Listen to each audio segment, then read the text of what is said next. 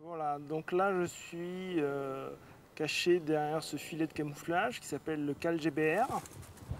Donc euh, on voit je pense mon objectif. Donc c'est un filet euh, qui, imite très bien l'effet feuille que l'on a avec les feuilles d'arbre. C'est plein d'ouvertures comme ça. D'ailleurs pour passer un objectif c'est assez simple de, de passer, il suffit de tirer un peu, ça se, déchire légèrement et on passe l'objectif.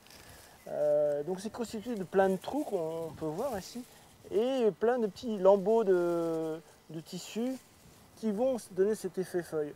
En plus, euh, il y a euh, sur tous les filets, il y a une double couleur.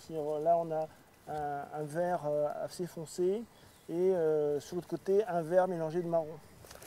Le petit, le inconvénient connu, c'est que ça fait un bruit de feuille, euh, un bruit de feuille qu'on fait euh, quand on, marche dans, la forêt.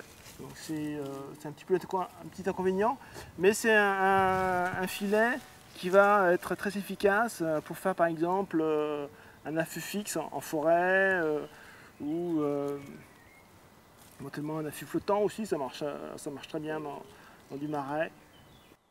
Alors ça c'est la deuxième version, le CalGBR 2, euh, qui dans les tons un peu plus automnal, euh, avec euh, des effets de, de dessin d'arbres, de feuilles, je ne sais pas si on le voit à la caméra, mais voilà, c'est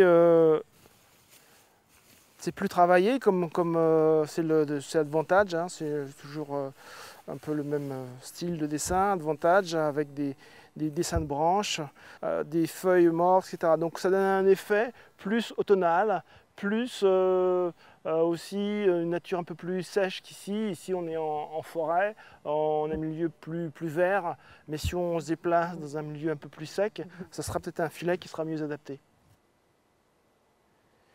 Voilà les dimensions du CalGVR classique, c'est 3 mètres sur 1 mètre 35 euh, donc ça couvre quand même pas mal de, surface. Euh, l'avantage c'est qu'ils sont euh, hyper hyper légers.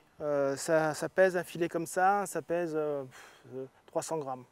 Ce CalGBR, les différents formats de CalGBR existent en 3 mètres sur 1 mètre 35 et 6 mètres sur 1 mètre 35.